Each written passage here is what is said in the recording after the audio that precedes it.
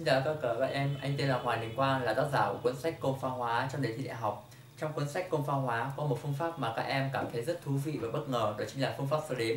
Nhờ phương pháp số đếm mà các em có được cách giải những bài toán mà các em tưởng chừng rất phức tạp theo những cách cực kỳ đơn giản. Chỉ cần đếm, cách chất và đặt ẩn giải hết sức thông thường dựa vào hệ phương trình hai ẩn hoặc ba ẩn.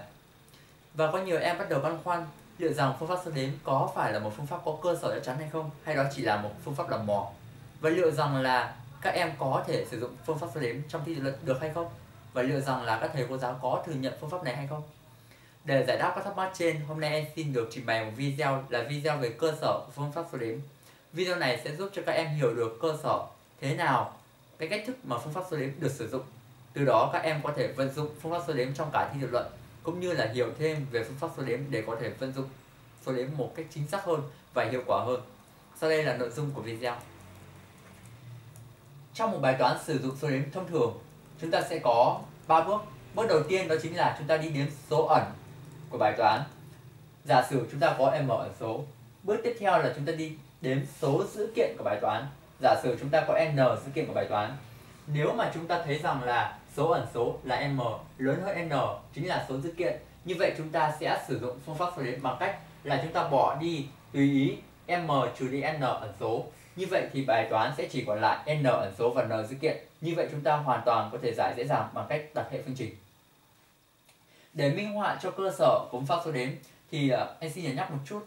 Phương pháp số đếm muốn chứng minh một cách triệt để thì có thể uh, trình bày rất là phức tạp. Ngoài ra muốn hiệu quả thì phải sử dụng đếm ma trận hoặc vector ở chương trình đại học. Vì vậy thì cách phân tích rất phức tạp.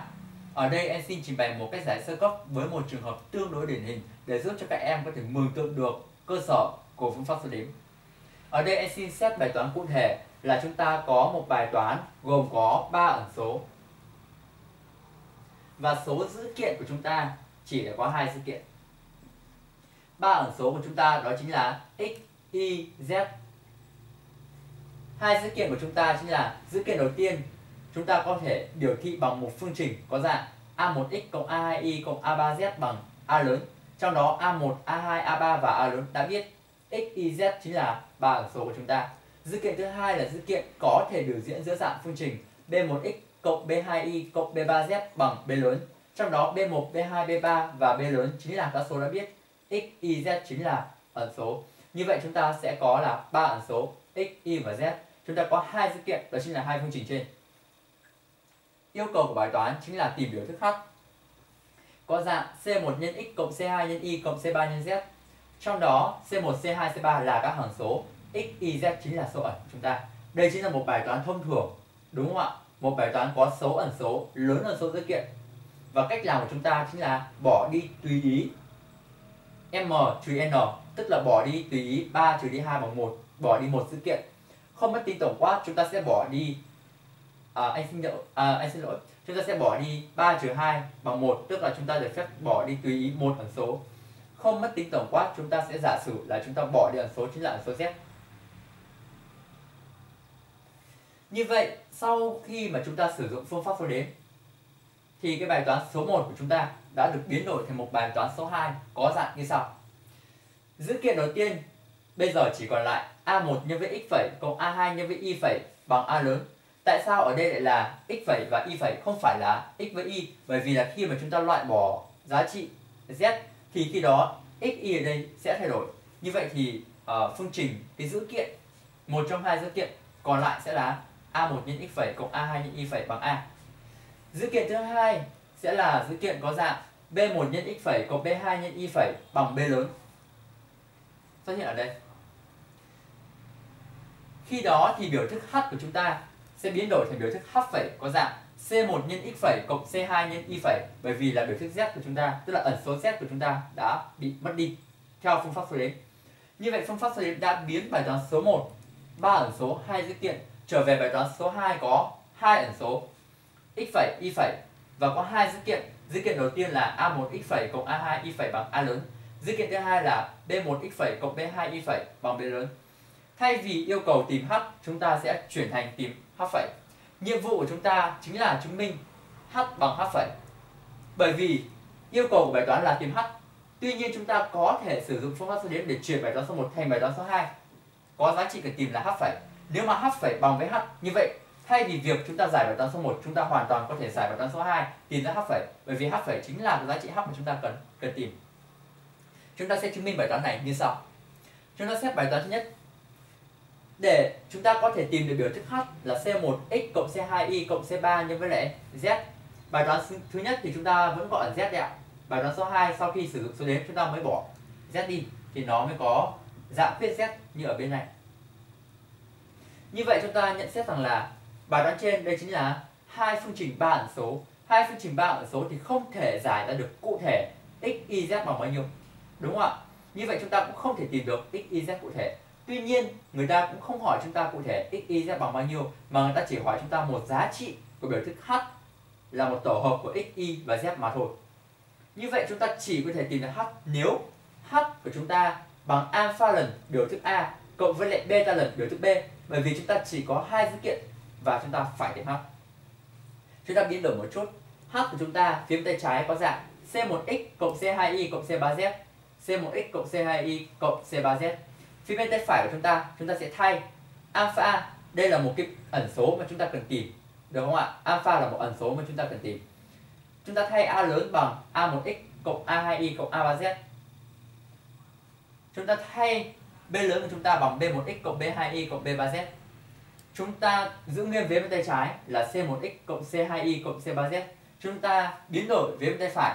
Chúng ta sẽ có hệ số của x sẽ là alpha a1 cộng với lại beta b1 alpha a1 cộng beta b1 hệ số của y chính là alpha a2 cộng với beta b2 alpha a2 cộng beta b2 hệ số của z chính là alpha a3 cộng với beta b3 alpha a3 cộng beta b3 bởi vì vế bên tay trái là một biểu thức của x vế bên tay phải cũng là một biểu thức của x. Chúng ta chú ý C1, C2, C3 của chúng ta. Biết trước. A1, A2, A3, B1, B2, B3 mà chúng ta cũng biết trước. Chúng ta chỉ có alpha và beta là chúng ta không biết mà thôi bởi vì chúng ta đang sử dụng phương pháp hệ số bất định. Như vậy để vế bên tay trái bằng vế bên tay phải bằng phương pháp hệ số bất định thì hệ số của x ở hai vế phải bằng nhau. Vế trái hệ số của x là c1 vế phải hệ số của x là alpha a1 cộng beta b1 như vậy c1 phải bằng alpha a1 cộng beta b1 tương tự hệ số của y ở vế bên tay trái chính là bằng c2 hệ số của y ở vế bên tay phải là alpha a2 cộng beta b2 như vậy c2 phải bằng alpha a2 cộng beta b2 tương tự chúng ta sẽ có hệ số của z c3 sẽ bằng alpha a3 cộng beta b3 chúng ta chú ý một chút chúng ta sẽ có C1, C2, C3, A1, A2, A3, B1, B2, B3 là các số đã biết trước. Như vậy thì trong đây chúng ta chỉ có hai ẩn số duy nhất đó chính là ẩn số alpha và ẩn số beta. Như vậy chúng ta đã có một hệ phương trình gồm có 3 phương trình nhưng chỉ có hai ẩn số. Đó chính là ẩn alpha và ẩn beta mà thôi. Như vậy có nghĩa là gì?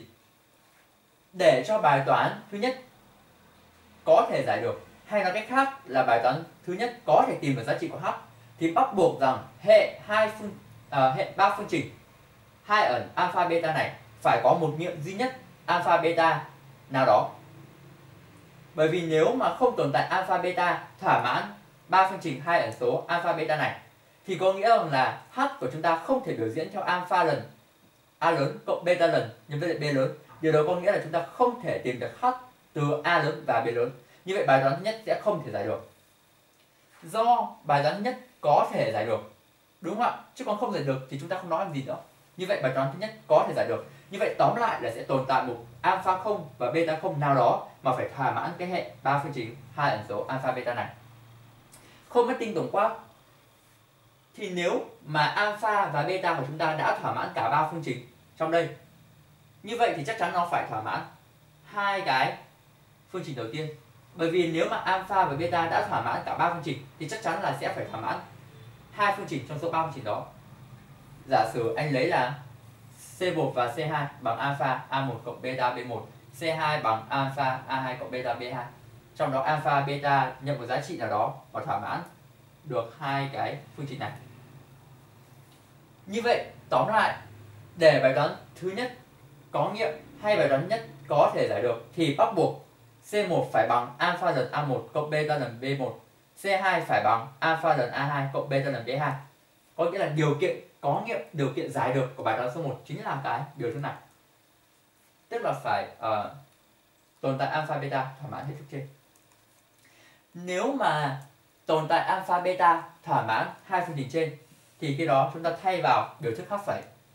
Chúng ta có này h phẩy bằng c1 nhân x phẩy. C1 chúng ta thay vào alpha a1 cộng với lại beta b1 nhân với lại x phẩy.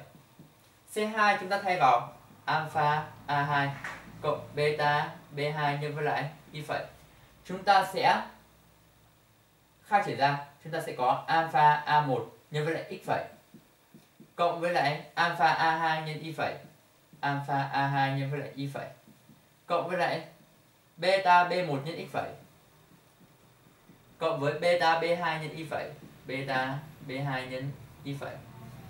Chúng ta đặt alpha ra ngoài, bên trong sẽ còn lại a1 nhân với x phẩy em xin lỗi. Chúng ta đặt alpha ra ngoài, bên trong sẽ còn lại là a1 nhân x phẩy cộng với a2 nhân với y phẩy cộng với lại beta đặt ra ngoài, bên trong sẽ còn lại b1 nhân x phẩy cộng b2 nhân y phẩy.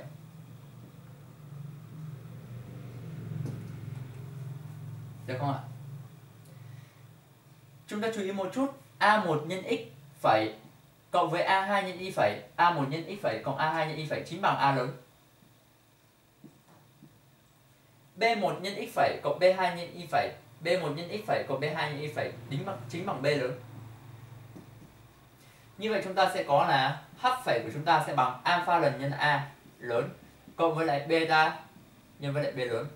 Như vậy h phẩy bằng alpha nhân a lớn cộng beta nhân b, nhân với lại b lớn. Trong khi đó h của chúng ta cũng bằng alpha nhân a lớn cộng với lại beta nhân với lại b lớn. Như vậy là h bằng h phẩy. Nhiệm vụ chứng minh của chúng ta đã hoàn thành anh xin được tóm tắt lại như sau. Bài toán thứ nhất, chúng ta có ba ẩn số, hai dữ kiện, ba ẩn số là x, y và z. Hai dữ kiện của chúng ta được thiết lập thành hai phương trình sau đây. Yêu cầu là đi tìm h. Sau khi sử dụng phương pháp số đếm chúng ta đã bỏ đi 3 trừ đi 2 bằng 1 bỏ đi một ẩn số. Không mất tinh tổng quát, chúng ta bỏ ẩn z. Như vậy thì bài toán trên chuyển về bài toán tương đương. Mà thông thường theo số đếm thì chúng ta sẽ giải quyết bài toán số 2 này. Tìm ra h và coi đó bằng h nhưng mà tuy nhiên nhiệm vụ của chúng ta ở đây là chứng minh h phải bằng a phẩy để cho cái bài toán thứ nhất có thể giải được thì h phải bằng alpha lần nhân a lớn cộng beta lần nhân b lớn nhân với lại b lớn. Và để điều đó xảy ra thì phải tồn tại alpha beta thỏa mãn ba phương trình hai ẩn alpha beta với chú ý là C1, C2, C3, A1, A2, A3, B1, B2, B3 đều là hằng số đã biết trước. Alpha beta là ẩn do tồn tại alpha beta là nghiệm duy nhất thỏa mãn ba phương trình trên. Như vậy thì sẽ tồn tại alpha beta thỏa mãn hai phương trình đầu tiên. Chúng ta ghép hai phương trình đầu tiên này, thay vào biểu thức h phẩy, chúng ta sẽ có h phẩy bằng alpha nhân a cộng beta nhân với lại b. Như vậy, h bằng h phẩy đều phải chứng minh, đã được chứng minh hoàn thành. Như vậy thì ờ, thay vì chúng ta giải quyết một bài toán thông thường, ba ẩn số hai dữ kiện thì chúng ta có thể sử dụng phương pháp số đếm để biến về một bài toán có hai ẩn số và hai dữ kiện để chúng ta giải cách bình thường. Như vậy, phương pháp số đếm đã chuyển một bài toán khá phức tạp, trở thành một bài toán đơn giản hơn mà chỉ bấm máy tính là thôi. Và tóm lại, số đếm đã biến bài toán thứ nhất thành bài toán số 2 như vậy, để tìm h là yêu cầu bài toán thì chúng ta không cần tìm h nữa mà chúng ta chỉ cần tìm h phải thay thế trong bài toán số 2 là được. Như vậy thì vừa rồi anh đã trình bày cho các em về cơ sở của phương pháp số đếm và để cho các em hiểu được uh, cơ bản phương pháp này.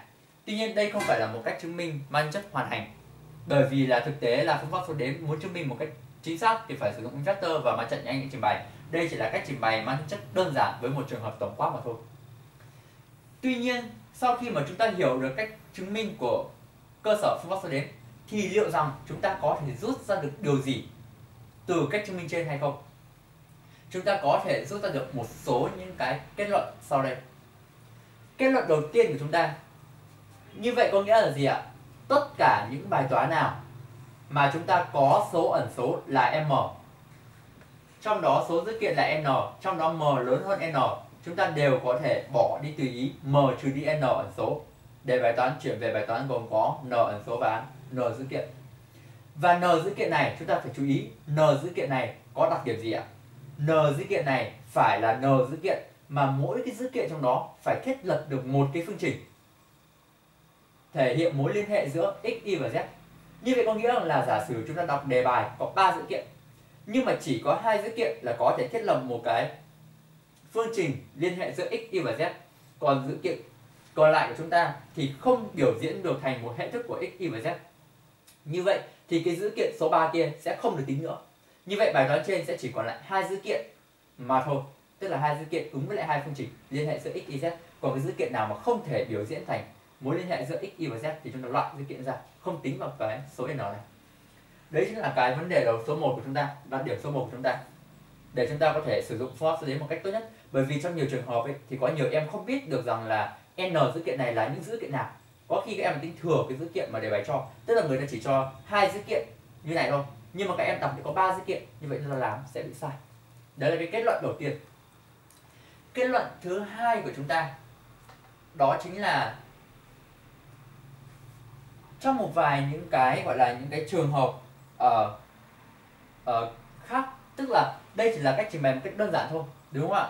Có những trường hợp mà khi mà các em sử dụng phương pháp số đếm chúng ta bỏ đi m trừ đi n ẩn số để có được một cái bài toán gồm có n ẩn và n dữ kiện thì cái hệ phương trình này của chúng ta lại là một cái hệ vô nghiệm hệ này là hệ vô nghiệm.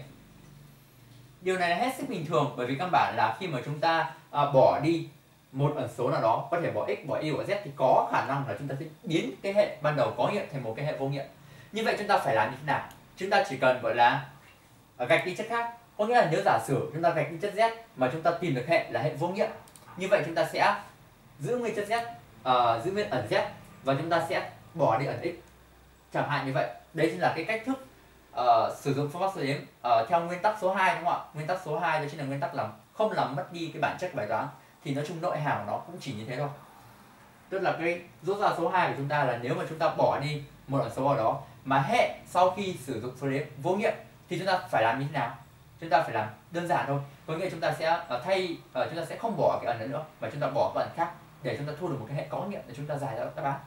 đấy là cái kết luận số 2 của chúng ta mà chúng ta cần phải uh, chú ý và kết luận số 3 của chúng ta đó chính là nhiều em uh, khá là nhầm lẫn đúng không ạ? Uh, nếu mà chúng ta giải cái biểu thức x phẩy y phẩy thì do x phẩy y phẩy của chúng ta khác với lại x và khác với lại y. Vì vậy x phẩy y phẩy của chúng ta có thể là một số âm có thể là một số phân số phức tạp nhưng mà không sao cả. Các em cứ giữ nguyên x phẩy và giữ nguyên y phẩy để tính cái biểu thức h phẩy bằng c1 nhân x phẩy cộng c2 nhân y phẩy. Mặc dù x phẩy y phẩy có thể âm hoặc x phẩy y phẩy là một số thập phân phức tạp số lẻ. Nhưng mà chắc chắn là kết quả sau khi thay vào h phẩy của chúng ta chắc chắn sẽ bằng biểu thức h bên kia. Đây là một cái kết luận thứ ba mà chúng ta cần phải rút lại rút ra được khi mà chúng ta uh, xem xong cái uh, trình bày về cơ sở pháp lý thuyết uh, của pháp số đếm. Tiếp sau đây thì anh xin được trình bày ờ, bốn uh, cái uh, ví dụ nhỏ để các em hiểu được ba cái kết luận của chúng ta rút ra sau khi chúng ta chứng minh cơ sở của phương pháp số đếm anh xin được trình bày bốn bài toán trên như sau. Bốn bài toán trên sẽ giúp chúng ta hiểu rõ được ba cái kết luận của chúng ta mà chúng ta vừa mới uh, tìm ra được. Anh xin nhắc lại đây chỉ là một cách chứng minh tương đối đơn giản. Còn nếu mà bạn nào muốn chứng minh một cách tổng quát hoặc chứng minh phức tạp hơn uh, để hiểu được bản chất sâu xa hơn thì các em có thể uh, chứng minh thêm. Đầu tiên chúng ta sẽ đi đến cái đoạn điểm số 1 đó chính là chúng ta xem xét n dữ kiện. Thế thì cái uh, thông tin nào trong đề bài sẽ được coi là một trong số n dữ kiện trên? Thì điều kiện là gì ạ? Một cái thông tin trong đề bài sẽ được coi là một dữ kiện nếu thông tin đó có thể được biểu diễn thành một hệ thức liên hệ giữa các ẩn số x, y và z thì nó là tính là một dữ kiện. Còn nếu mà cái thông tin đó mà nó không thể biến thành một cái phương trình liên hệ giữa x, y và z thì có nghĩa rằng là cái dữ kiện đó sẽ không được tính vào n dữ kiện trên. Chúng ta sẽ lấy một cái ví dụ đơn giản như sau. Chúng ta sẽ có 0,75 mol một cái hỗn hợp x. Hỗn hợp x gồm có các chất hydro propen là C3H6 axit acrylic có nghĩa là C2H3 COOH như vậy đó là C2H3 COOH C3H4O2 ancol anilic ancol anilic có dạng C2H3 CH2OH như vậy có nghĩa là C2H3 CH2OH như vậy có nghĩa là C3H4 O. À, em xin lỗi một chút em viết lại. C2H3 đây chính là công thức của ancol anilic kìa đây là gốc anili ancol anilic như vậy là C123 C3 H. Ở đây phải là có một đến cái pi H6 số lượng oxy là một đúng không ạ? Axit acrylic là C2H3 COOH C3H4O2 rồi ạ. Như vậy chúng ta sẽ đốt cháy 0,75 mol hỗn hợp X. Hoàn toàn thì chúng ta thu được 30 phẩy 24 lít khí CO2 mà chúng ta có thể tính ra được là số mol CO2 bằng 1,35 mol CO2.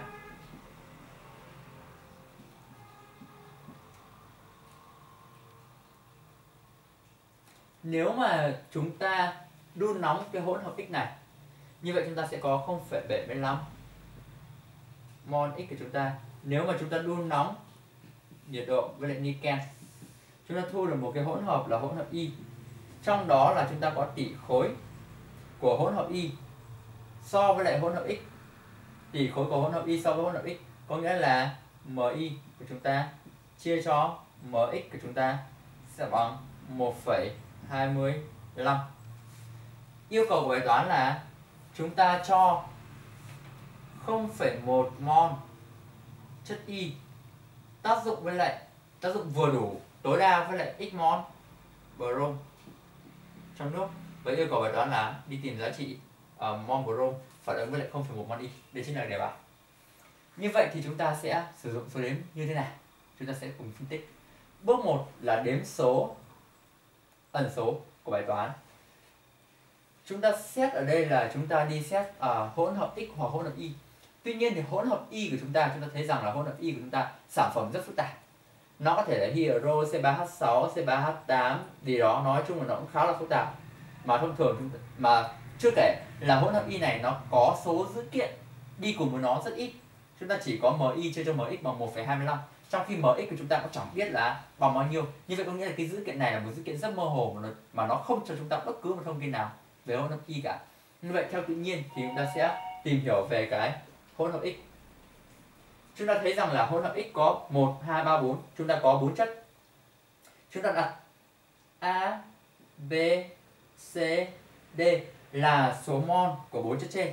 Như vậy số ẩn của chúng ta số ẩn của chúng ta là bằng 4 số dữ kiện của chúng ta chúng ta chú ý là dữ kiện muốn tính là một dữ kiện thì nó phải thiết lập được một cái phương trình liên hệ giữa A, B, C và D dữ kiện đầu tiên hay là thông tin đầu tiên chính là số mol của x.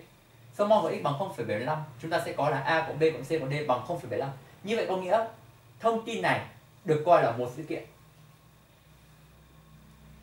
Thông tin thứ hai là số mol của CO2 số mol CO2 sẽ bằng 3b cộng 3c cộng với lại 3d như vậy có nghĩa là thông tin số 2 cũng được coi là một dữ kiện. Bởi vì thông tin số 2 đã biến được thành một cái phương trình liên hệ giữa ABC và D chúng ta xem xét thông tin thứ ba. Đó chính là thông tin tỷ khối giữa y và x bằng 1,25 bởi vì chúng ta không biết là à, thực ra là chúng ta có thể gọi là biến đổi một chút. Chúng ta thấy rằng là m ờ, tức là chúng ta sẽ có là mx của chúng ta. Mx của chúng ta sẽ bằng là khối lượng của x và chia cho ờ, uh, số mol x. Khối lượng của x nó là một biểu thức liên hệ giữa a b c d số mol của x là một số. Như vậy thì mx của chúng ta là một biểu thức liên hệ giữa a b c và d. Tuy nhiên mi của chúng ta thì lại là một cái không xác định. Như vậy thì từ cái thông tin là mi chia cho mx bằng 1,25 chúng ta không thể nào mà thiết lập được một phương trình nào với cái với cái hệ số cụ thể của a b c và d. Như vậy thì cái thông tin này sẽ không được coi là một dữ kiện. Như vậy chúng ta chỉ có hai dữ kiện là số mol x và số mol co2 là hai cái thông tin mà chúng ta có thể biểu diễn được, được cụ thể a b c và d như thế nào? Như vậy chúng ta sẽ có số dữ kiện. Số dữ kiện của chúng ta chỉ có là hai. Như vậy theo đúng nguyên tắc số đếm chúng ta sẽ bỏ đi. 4 trừ đi hai là bỏ đi. Hai chất bất bất kỳ. Đúng không ạ? Chúng ta sẽ có thể bỏ đi uh, các chất nào? Và chúng ta có thể bỏ đi hai chất đầu tiên hai chất này hai chất này. Tùy. Nhưng mà tuy nhiên thì chúng ta cũng phải chú ý một chút nếu mà uh, đến cái nguyên tắc số 2 của số đếm.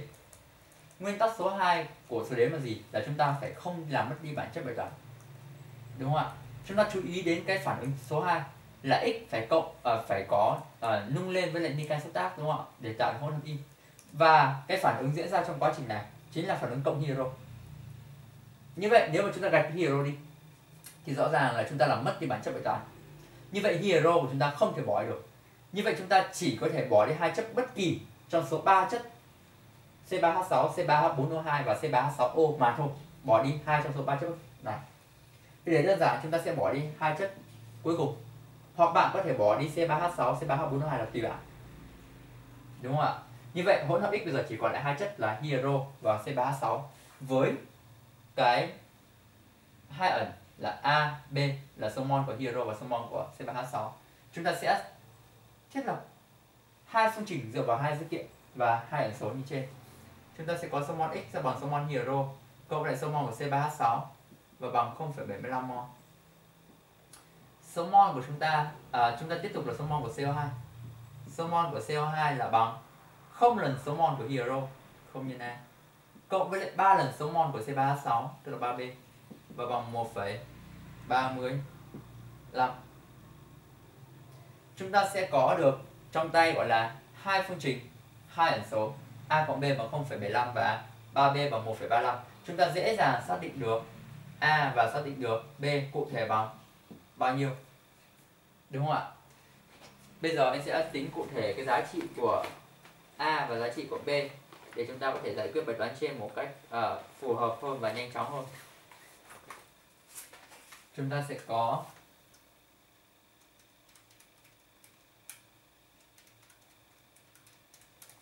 A của chúng ta sẽ bằng 0,3 mol còn B của chúng ta sẽ bằng 0,45 mol. Như vậy A bằng 0,3 mol B bằng 0,45 mol 0,3 mol B của chúng ta bằng 0,45 mol. Như vậy bài toán của chúng ta sẽ uh, đi đến số dữ kiện tiếp theo đúng không ạ? Chúng ta sẽ có 0,75 mol x là gồm có 0,3 mol hydro và 0,45 mol C3H6 chúng ta nung với lại niken. Chúng ta thu được hỗn hợp y. Trong đó là chúng ta có MI chia cho MX của chúng ta bằng 1,25 đến đây thì các em có thể giải quyết bài toán trên bằng cách gọi là cực kỳ đơn giản. Nhưng mà anh sẽ trình bày một cách giải truyền thống hơn để cho các em thấy rằng là các em không cần phải sử dụng những kiến thức uh, tương đối phức tạp đó mà chúng ta chỉ cần sử dụng kiến thức lớp 8 tính toán đơn giản thông thường là chúng ta cũng có thể giải được. Bài toán đơn giản như trên rồi. Chúng ta giả sử là chúng ta sẽ có phản ứng là C3H6 cộng với lại hydro của chúng ta chuyển thành C3H8 đúng không ạ? Chúng ta giả sử là có x mol C3H6 tham gia phản ứng. Như vậy sau phản ứng C3H6 sẽ dư là 0,45 trừ đi x mol. Hydro sẽ dư là 0,3 trừ đi x mol. C3H8 của chúng ta sẽ còn dư là x mol. Như vậy Y của chúng ta, hỗn hợp Y sẽ gồm có 0,45 trừ đi x mol C3H6 0,3 trừ đi x mol hydro dư và x mol C3H8 chúng ta sẽ có là MI chia cho MX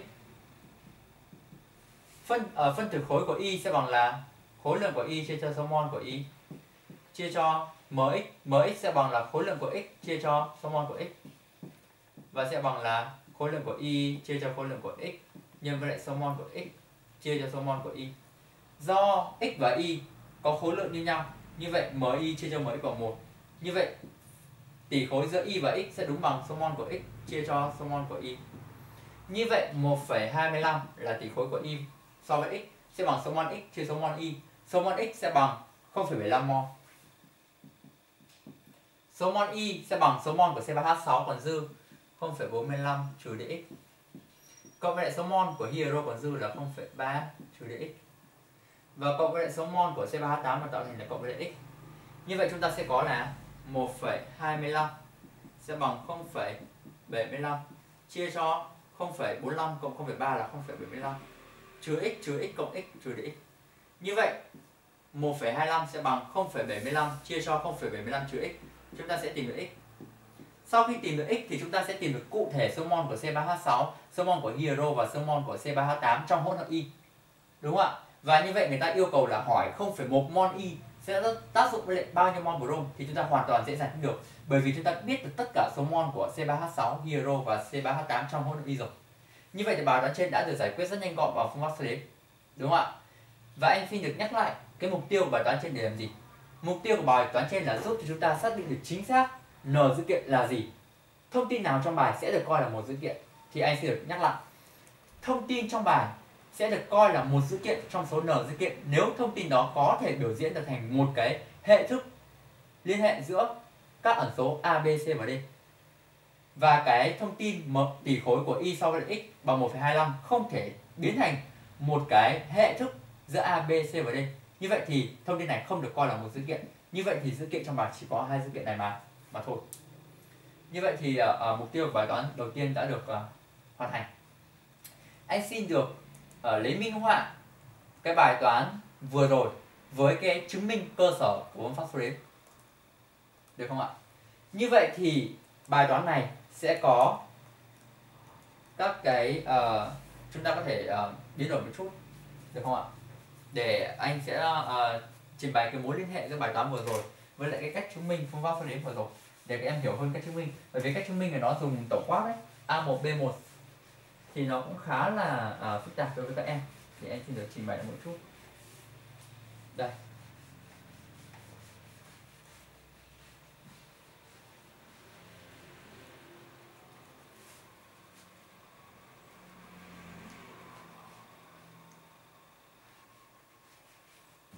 Không phải 75 mol x gồm có hero C3H6 C3H4O2 và C3H6O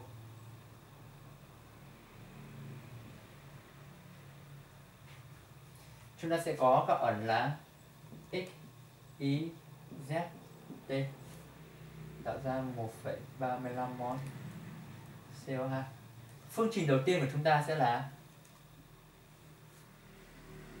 số mol x bằng a cộng à, bằng uh, số mol của x bằng x cộng với lại y cộng với lại z cộng với lại t bằng 0,75 số mol của CO2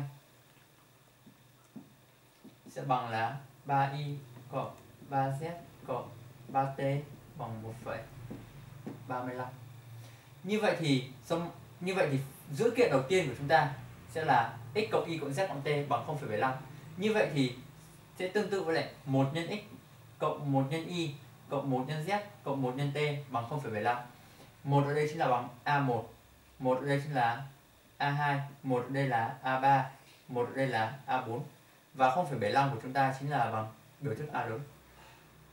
Dữ kiện thứ hai ứng với phương trình số 2 là 3y cộng 3z cộng 3t bằng 1,5 à, bằng 1,35 số 3 đầu tiên chính là bằng B1 số 3 thứ hai chính là B2 số 3 thứ ba chính là B B3 và 1,35 chính là biểu thức B lớn. H của chúng ta chính là bằng số giả sử à, giả sử anh anh anh xin được ở tính toán lên một chút này. Giả sử bài toán trên người ta yêu cầu rằng là chúng ta hãy đi tìm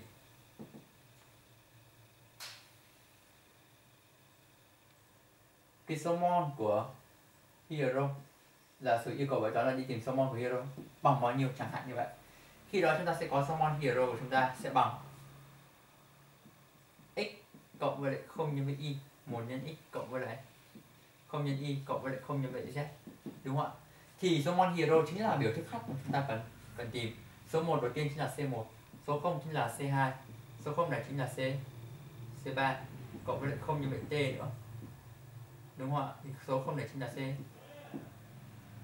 c4 à, anh xin lỗi một chút này cái phương trình số 2 sẽ là 0 nhân với lại x cộng với lại 3y cộng 3z cộng 3t thì số 0 đầu tiên chính là B1 này số 3 là thứ đầu tiên chính là B2 số 3 thứ hai chính là B3 và số 3 cuối cùng chính là bằng B4 như vậy thì chúng ta đã hiểu được A1, A2, A3, A4 chính là các hằng số đúng không? B1, B2, B3, B4, C1, C2, C3, C4 chính là các hằng số.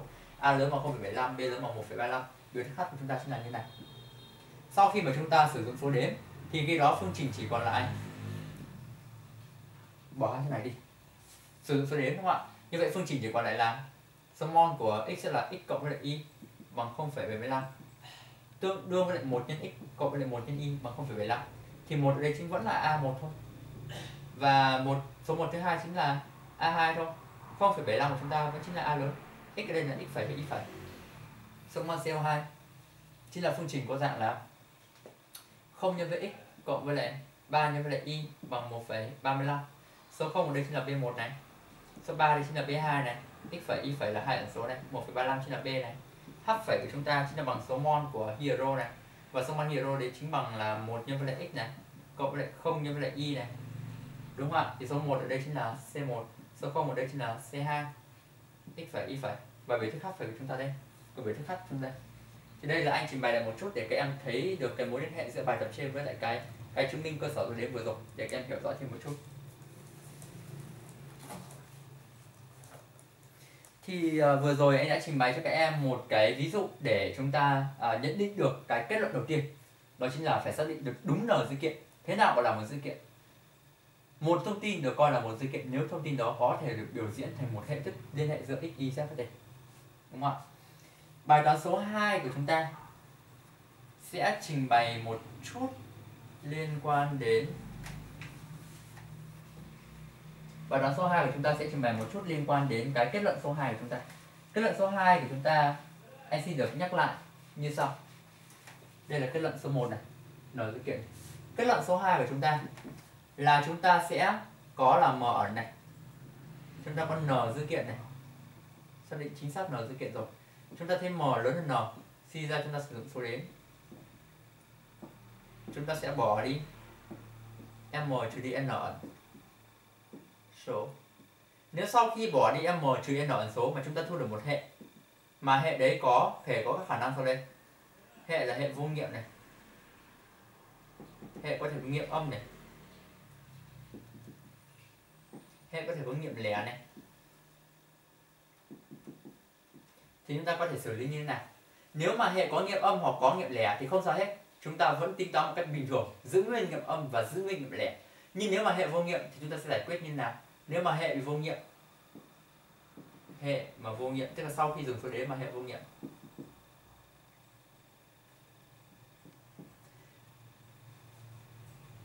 Khi đó thì chúng ta sẽ uh, tìm cách gọi là chúng ta sẽ bỏ đi m trừ đi n ẩn số khác. Tức là chúng ta vẫn bỏ đi m trừ n ẩn số. Nhưng mà chúng ta uh, khi mà chúng ta bỏ đi m trừ n ẩn số này thì hệ vô nghiệm thì chúng ta sẽ tìm cách bỏ đi m trừ n ẩn số khác để thu được một hệ có nghiệm. Thì đây chính là cái kết luận số 2 của chúng ta. Và chúng ta sẽ uh, làm một bài toán để hiểu hơn về cái uh, kết luận số 2 của chúng ta. Như sau bài toán số 2 của chúng ta có xuất hiện trong cuốn sách công pha hóa đúng không ạ? Em xin chấp đề bài như sau bài toán số 2 của chúng ta. Chúng ta đốt cháy hoàn toàn 3,42 gam một cái hỗn hợp x nào đó gồm có chất là vinin acetat. Vinin acetat C2H tức là vinin acetat tức là CH3COO C2H3 methyl acrylate chính là C2H3COO CH3 axit oleic C17 H33 COOH axit uh, stearic chính là C17H35COOH chúng ta đốt cháy hoàn toàn chúng ta thu được 0,18 mol. CO2 yêu cầu là tìm số mol nước thu được. Chúng ta sẽ sử dụng phương pháp số đếm như sau bước 1 là đến số ẩn. 1 2 3 ba ẩn số. A, B, C. Ba ẩn số. Ba ẩn. Đến số dữ kiện. Thông tin đầu tiên là khối lượng của x. Khối lượng của x sẽ bằng phân tử khối của chất đầu tiên nhân với a, phân tử khối của chất thứ hai nhân b, cộng phân tử khối của chất thứ ba nhân với c. Như vậy có nghĩa là thông tin đầu tiên có thể biểu diễn thành một phương trình của a, b và c. Như vậy được tính là một sự kiện thông tin thứ hai là số mol của CO2 số mol CO2 sẽ bằng 4A cộng 4B cộng với lại 18C như vậy thông tin thứ hai cũng có thể biến thành một phương trình của A, B và C. Như vậy thì thông tin thứ hai cũng được tính là một sự kiện. Như vậy chúng ta sẽ có là ba ẩn số và hai sự kiện. Như vậy theo đúng số đến, chúng ta sẽ bỏ đi một ẩn số. Nhưng mà chúng ta sẽ bỏ đi ẩn số. Bỏ đi ẩn số nào? Giả sử là chúng ta bỏ đi ẩn số cuối cùng. Giả sử chúng ta bỏ đi ẩn số cuối cùng khi đó thì bài toán chúng ta chỉ còn lại hỗn hợp x chỉ còn lại hai chất là CH3COO, C2H3 amon và C2H3COO, C3 à, CH3 bemol. Chúng ta sẽ giải bài toán trên như sau. Mx của chúng ta bằng khối lượng của chất đầu tiên. Chất đầu tiên có công thức phân tử là 1 2 3 4 C4H6O2. C4H6O2. 86 86 nhân A cộng với 86 nhân B sẽ bằng 3,42K phương trình đầu tiên.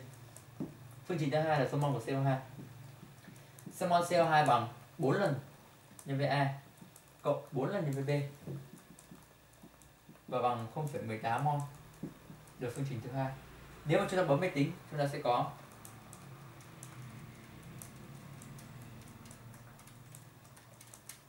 chúng ta thu được một hệ hệ vô nghiệm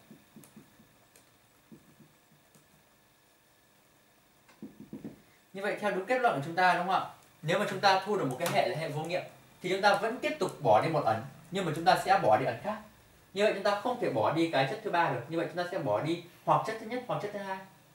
Và nếu mà các mà mà các bạn thử ấy, thì chúng ta bỏ đi chất nhất hoặc bỏ đi chất thứ hai thì chúng ta đều có thể uh, thu được một hệ khác và hệ đó sẽ có nghiệm. Đúng không ạ? Khi hệ đó có nghiệm thì chúng ta sẽ tính toán thông thường và có thể tìm được số mol nước như vậy thì à, bài toán vừa rồi đã giúp cho chúng ta hiểu thêm được về cái cái định hướng thứ hai sau khi mà chứng minh về cơ sở phép đến. Có nghĩa là anh xin tóm tắt lại như sau. Nếu chúng ta có m ở số, rồi n dữ kiện, nếu mà m lớn hơn n, thì chúng ta sẽ sẽ được sử dụng phép đến. Chúng ta bỏ đi m trừ n ẩn số, để biến về một bài toán gồm có n và n dữ kiện. Sau khi mà chúng ta bỏ đi m trừ n ẩn số, chúng ta sẽ thu được một hệ n phương trình. N. Ẩn sẽ có ba trường hợp, hệ vô nghiệm, hệ nghiệm âm hoặc hệ sẽ có nghiệm lẻ. Nếu mà hệ có nghiệm, không quan tâm là nghiệm âm hay nghiệm lẻ, chúng ta vẫn tính toán bình thường, vẫn giữ nguyên nghiệm âm và nghiệm lẻ đó. Và chắc chắn kết quả sẽ chính xác. Nhưng nếu mà hệ vô nghiệm thì chúng ta vẫn bỏ đi m trừ n ẩn số, nhưng mà chúng ta sẽ thay các ẩn số mà chúng ta đã bỏ trong trường hợp vô nghiệm bằng các ẩn số khác.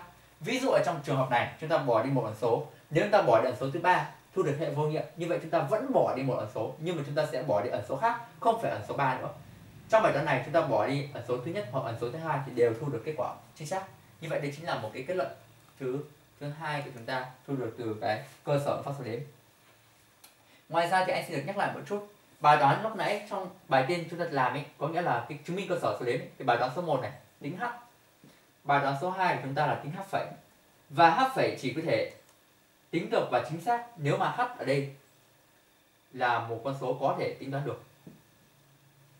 Như vậy có nghĩa là gì? Có nghĩa là nếu mà cái bài toán số 1 này mà chính xác, hay nói cách khác là bài toán số 1 này là bài toán có thể giải được, thì khi đó chúng ta sử dụng phương pháp số đếm sẽ luôn luôn thu được một kết quả hấp phẩy chính xác có nghĩa là tôi không quan tâm người ra đề làm cách nào để nghĩ ra đề. Tôi không quan tâm là người ta phải mất bao thời gian, bao nhiêu công sức phải sử dụng bất cứ từ thuật nào, phải dùng định luật bảo toàn này bảo toàn nọ. Tôi không quan tâm.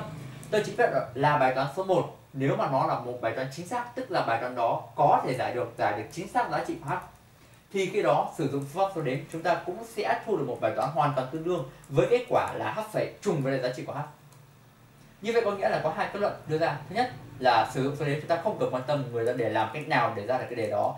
Người ta suy nghĩ bao thời gian làm bất cứ cái nào chúng ta không quan tâm. Dùng số đếm luôn luôn ra được kết quả chính xác. Còn nếu mà cái bài toán số 1 này mà đã không chính xác có nghĩa là cái số h này không thể tìm được ra một giá trị cụ thể thì khi đó số đếm cũng không thể tìm được ra một số một cái giá trị cụ thể.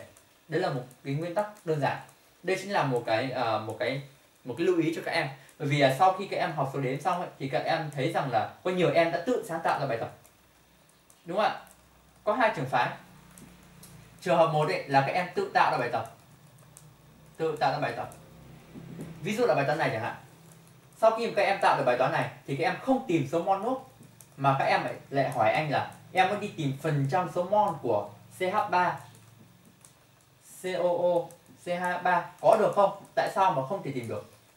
Bởi vì các bạn là với bài toán trên chúng ta không thể tìm được số mol của CH3 COO CH3 mà không tìm được số mol của CH3 COO CH3 thì làm sao mà tìm được phần trăm số mol? Có nghĩa là bài toán trên là một bài toán không thể giải được. hai có nghĩa là H này là không thể tìm được. Mà khi H đã không tìm được thì chắc chắn là H phải cũng không tìm được. Hay nói số đếm cũng không thể giải quyết được bài toán trên. Bởi vì bài toán trên là sai, bài toán trên là không chính xác, là không thể giải được. Đây là trường hợp một là tự tạo bài tập. Và trường hợp 2 của chúng ta thì ờ, thì ờ, các em uh, tức là các em còn hỏi thêm những câu hỏi phụ ngoài câu hỏi của đề bài tức là trong bài toán trên thì người ta hỏi là tìm số mol nước. Tại sao người ta lại hỏi tìm số mol nước? Bởi vì chỉ có số mol nước mới có thể tìm được giá trị cụ thể là h mà thôi. Còn các thông tin khác thì không thể tìm được. Vì vậy thì các em đặt một câu hỏi khác là nếu mà em đi tìm gọi là phần trăm số mol của CH3COO CH3 thì sao? Tức là em hỏi thêm một câu hỏi khác ngoài câu hỏi mà người ta cho thì chắc chắn là kết quả của chúng ta cũng không thể tìm được bởi vì căn bản là chỉ có câu hỏi này. Là tìm số mol nước là một câu hỏi có thể tìm được cụ thể h. Như vậy thì h phải chính xác thôi. Chứ còn những cái câu hỏi khác, ví dụ phần trăm số mol của CH3 CO CH3 thì nó không thể giải được, không thể tìm ra được. Như vậy chắc chắn số đen cũng không cũng không thể giải được. Bởi vì là bài toán trên là một bài toán không thể giải nổi. Là nó sai, đúng không ạ? Thì đây là những cái sai lầm thông thường các em mắc phải. Có thể tự tạo một cái đề, một cái đề nó nó không liên quan, một cái đề mà không thể giải được. Sao lại hỏi anh, tại sao số đếm không giải được? Bởi vì đề sai không chính xác làm sao mà giải được, đúng không ạ? Còn cái thứ hai là các em chọn cái đề đúng, nhưng mà các em lại thêm một cái câu hỏi bên ngoài mà các em không biết rằng là bài toán đấy chỉ có thể giải được với cái câu hỏi đó mà thôi. Còn đối với câu hỏi khác thì không thể giải nổi, thì cũng số đấy cũng không thể giải được, đúng không ạ? Như vậy thì anh đã giúp cho các em đầu tiên là cơ bản số đếm, rút ra những cái kết luận quan trọng cũng như cho các em minh họa để có thể sử dụng phương pháp số đếm một cách chuẩn xác hơn. Sau đây em xin được trình bày một cách ngắn gọn, thêm gọi là thêm hai cái bài tập nhỏ nữa để giúp các em hiểu thêm về số đếm đúng không ạ? À, ngoài ra thì anh cũng nói thêm một chút trong quá trình của anh sao bảng. Có nghĩa là nhiều em nói rằng là anh ơi uh, số đếm có dùng trong vô cơ không? Thì thực ra là các em nên theo dõi video số 5 hoặc video số 6 thì trong đó anh đã trình bày phương pháp số đếm để giải bài toán vô cơ rất là nhiều đúng không ạ? Tại sao lại số đếm lại có thể giải cho vô cơ? Bởi vì đơn giản là là số đếm có thể giải được tất cả các bài toán có dạng là bài toán số 1 ban đầu, tức là tìm h. Chúng ta có gọi là mấy phương trình đúng không ạ? Nhiều ẩn số đúng không ạ? Chúng ta có gọi là n phương trình, m ẩn số, đúng không ạ? Tìm biểu thức h. Thì tất cả những cái bài toán nào mà nó có dạng đấy thì số đếm đều giải được. Như vậy, hữu cơ mà có thể quy về bài toán, đó, tìm h. Hoặc là hữu, hoặc đây là vô, hữu cơ, hoặc vô cơ, tức là một bài toán nào đó là một bài toán vô cơ, mà cũng có thể quy được thành n phương trình, m ẩn số và tìm được chị h đấy thì phương pháp số đếm đều giải được. Có nghĩa là bất kể bài toán là vô cơ hữu cơ hay là kết hợp giữa vô cơ và hữu cơ cũng không quan trọng. Miễn sao mà nó có thể quy về cái bài toán đi tìm h thì chắc chắn số đếm đều giải được. Bài toán tiếp theo chúng ta là bài toán số 3 bài toán số 3 này là giúp cho chúng ta uh, biết được cái cách gọi là áp dụng số đếm để có thể tư duy trong việc giải hóa. Bài toán đó như sau. Trong một hỗn hợp thì x của chúng ta anh sẽ giải nhanh. Gồm có formaldehyde CH, uh, HCHO đúng không ạ acetylen CH2 và hydro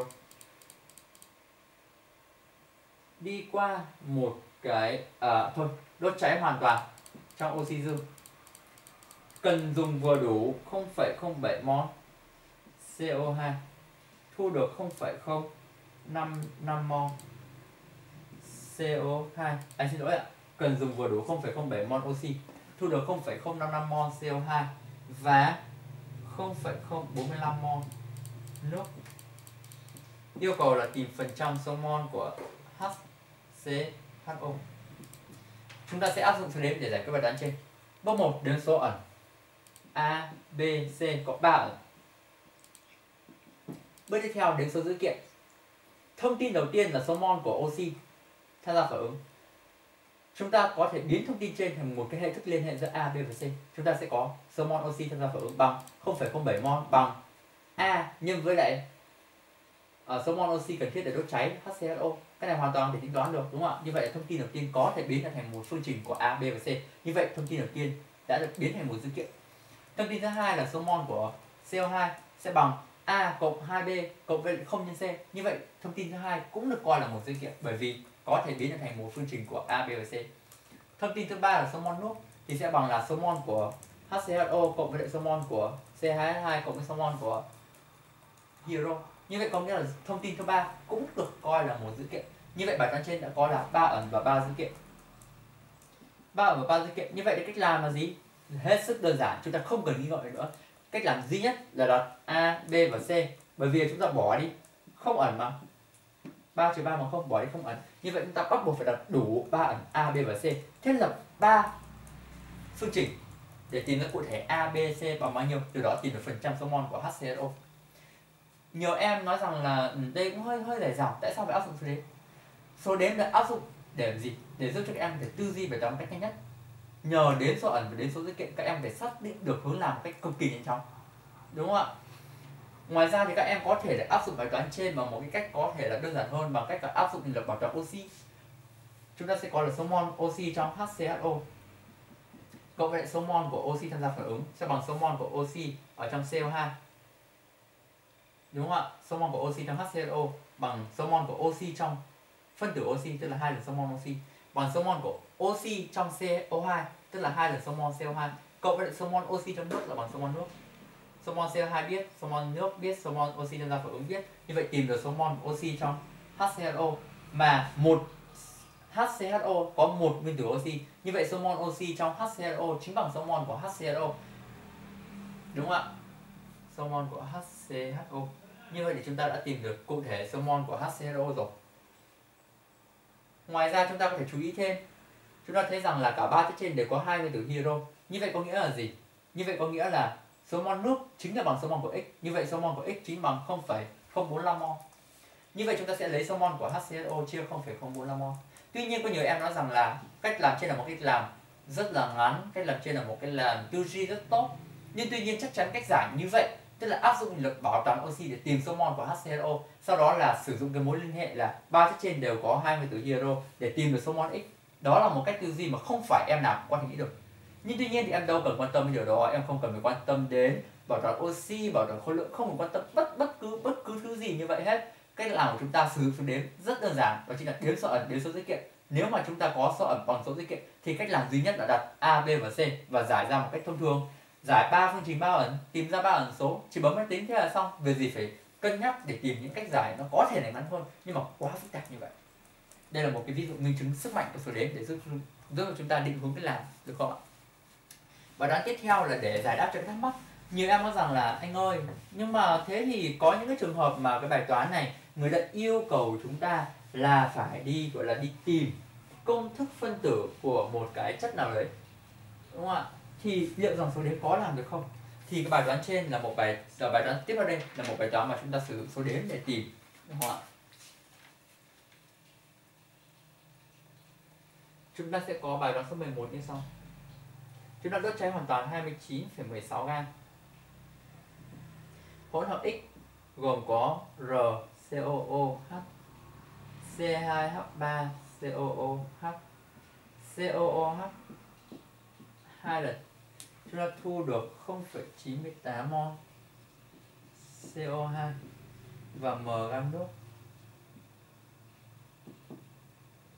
mặt khác nếu mà chúng ta cho x này tác dụng với lại NaHCO3 chúng ta thu được 0,5 mol CO2 biết R là một gốc hydrocarbon nhiệm vụ là phải đi tìm M gam nước.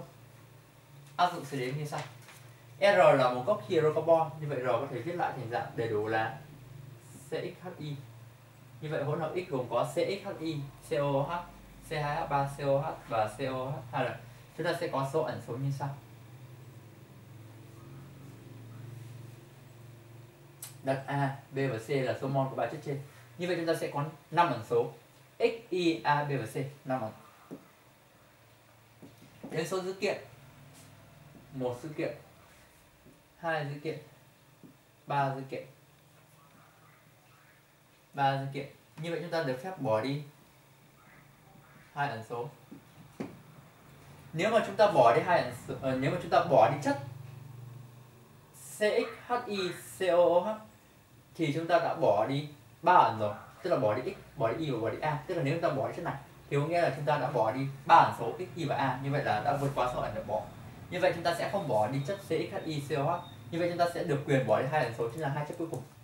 Như vậy thì bây giờ hỗn hợp x của chúng ta bây giờ chỉ còn một cái chất duy nhất là CXHY COH amon có ba ẩn số x, y và a. Chúng ta có ba dữ kiện khối lượng của x số mol CO2 và số mol uh, CO2 để đốt cháy x và số mol CO2 được tạo thành khi mà trong phản ứng với NaHCO3 đúng không ạ? Phản ứng sẽ là NaHCO3 biến thành là một CO2 như vậy số mol CO2 đây là 0,5 mol.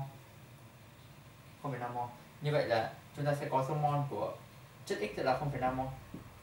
Hay nói cách khác của chúng ta là A bằng 0,5 mol. Chúng ta sẽ xây dựng à, chúng ta còn lấy hai ẩn số thôi là x và y.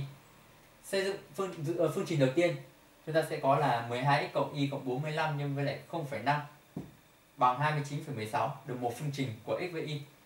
Chúng ta sẽ có số mol CO2 bằng x nhân với lại 0,5 bằng 0,98 chúng ta tìm được x và tìm được y. Hết sức đơn giản. Như vậy thì số đếm đã giúp chúng ta có thể giải quyết được bài toán ở trên một cách gọi là khá là dễ dàng bằng phương pháp số đếm đúng không ạ? Vừa rồi anh đã trình bày cho các em cơ sở của số đếm cũng như là các cái kết luận quan trọng cũng như là một số những bài tập minh họa đúng không ạ? Sau đây em xin được uh, trình bày một chút nội dung tiếp theo liên quan đến ứng dụng của phương pháp số đếm ở phần cuối của video này. Nhiều em nói rằng là thế thì anh ơi thế thì rốt cuộc là em dùng số đếm em sẽ phải làm như thế nào? Liệu rằng là có một cái dấu hiệu nào đó có thể giúp em nhận biết được cái uh, cách thức sử dụng số đếm cũng như là khi nào em sẽ sử dụng số đếm hay không? Dấu hiệu nhận biết số đếm dấu hiệu nhận biết số đếm tức là cái dấu hiệu để chúng ta nhận biết một bài toán nào đó có thể sử dụng được bằng số đếm hay là không. Thì có hai kiểu như sau. Dấu hiệu một, nếu mà chúng ta có m ẩn số, trong đó số ẩn lớn hơn số n dữ kiện. Tức là số ẩn là m, số dữ kiện là n. Số ẩn lớn hơn số dữ kiện, m lớn hơn n thì chúng ta sẽ áp dụng số đếm một cách trực tiếp bằng cách là bỏ đi m trừ đi n ẩn. Số. Nếu mà bỏ đi mà hệ của chúng ta có nghiệm, thì cho dù là nghiệm âm, nghiệm lẻ hay là nghiệm gì đó, thì chúng ta vẫn giải bình thường, thu được kết quả. Nhưng nếu mà hệ của chúng ta là hệ vô nghiệm, thì chúng ta sẽ vẫn bỏ đi m trừ n ẩn. Nhưng mà bỏ đi m trừ đi n ẩn số. Nhưng mà khác cái ẩn số mà chúng ta đã bỏ ở trong cái bước bỏ thứ nhất này tức là bỏ đi uh, m trừ n ẩn này hay vô nghiệm thì chúng ta bỏ đi m trừ n ẩn khác. Đúng không ạ? Đây là cái cách mà chúng ta sử dụng. Vector số một cách trực tiếp. Dấu hiệu thứ hai của chúng ta nếu mà chúng ta có số ẩn số mà bằng với lại số dữ kiện thì chúng ta không cần phải suy nghĩ cách làm nào hơn không cần bảo toàn khối lượng bảo toàn electron bảo toàn oxy hay làm bất cứ thứ nào phức tạp. Chúng ta chỉ cần làm một cách đơn giản là chúng ta đặt n ẩn. Sử dụng n dữ kiện. Để lập ra n phương trình. N ẩn số, giải ra n ẩn số và tính toán một cách cực kỳ thông thường. Và nhớ là cái dấu hiệu nhận biết dữ kiện. Một thông tin được coi là dữ kiện khi nào? Thông tin đó được coi là dữ kiện nếu thông tin đó có thể biểu diễn thành một hệ thức liên hệ giữa các ẩn số dấu hiệu thứ ba là chúng ta áp dụng số đếm một cách gián tiếp. Là trong cái bài toán có sử dụng phương pháp trung bình.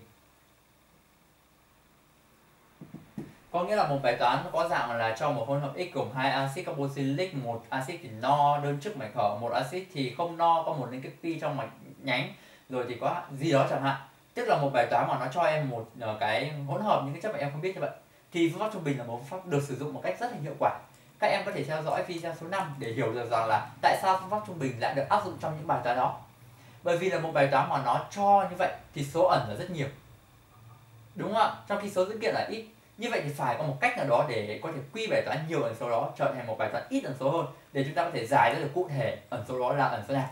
Thì phương pháp trung bình là một phương pháp thuận lợi như vậy đúng không ạ? Bởi vì phương pháp trung bình quy một hỗn hợp nhiều ẩn số, trở thành một hỗn hợp chỉ có ít ẩn số hơn như vậy thì ờ, số đếm có thể sử dụng gián tiếp cho bài toán sử dụng trung bình thì số đếm có tác dụng như thế nào? Thì các em có thể xem lại video số đếm số 5 trong đó anh có sử dụng số đếm để định hướng cho cách sử dụng phương pháp trung bình nhờ số đếm mà chúng ta sẽ biết rằng là chúng ta nên đặt công thức trung bình như thế nào là hợp lý nhất nên đặt là CXHIOZ hay nên đặt là CNH2N cộng 2 trừ 2AO gì đó. Tức là nhờ số đến mà chúng ta sẽ biết cách để áp dụng phương pháp trung bình một cách chuẩn xác nhất.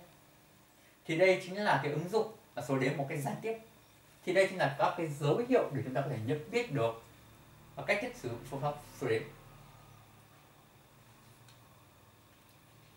Và uh, video vừa rồi thì cũng đã kết thúc nội dung của uh, cái uh, uh, về cơ sở pháp số đếm.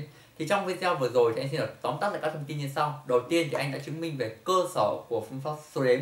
Để các em hiểu được rằng là phương pháp số đếm không phải là một phương pháp làm mò hay có một cái tính chất gì đó mang tính chất gọi là may mắn mà nó hoàn toàn là một phương pháp có tính chất gọi là uh, rất là chính xác thông qua toán học. Tuy nhiên thì cách trình bày chỉ là cách trình bày tương đối sơ cấp với một trường hợp đơn giản là một bài toán gồm có ba ẩn số và hai dữ kiện mà thôi bởi vì là để cho cái tư duy của các em được gọi là thoải mái hơn để các em hiểu được bản chất đã còn em nào mà có uh, hứng thú thì có thể gửi mail cho anh thì anh sẽ gửi cho em cách chứng minh gọi là uh, sử dụng vector mai trận cũng như là cách chứng minh với uh, m ẩn số và n dữ kiện một cách tổng quát hơn được không ạ?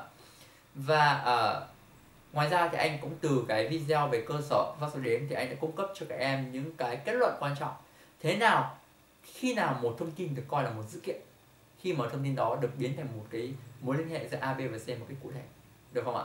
Thứ hai là nếu mà chúng ta bỏ đi ẩn số mà chúng ta thu được hệ vô nghiệm thì chúng ta sẽ tiếp tục bỏ ẩn số nhưng mà bỏ ẩn số khác để thu được một hệ có nghiệm nhưng mà hệ đó có nghiệm âm nghiệm lẻ cũng không sao giữ nguyên nghiệm âm và giữ nguyên nghiệm lẻ để tìm ra kết quả một cách chính xác cuối cùng.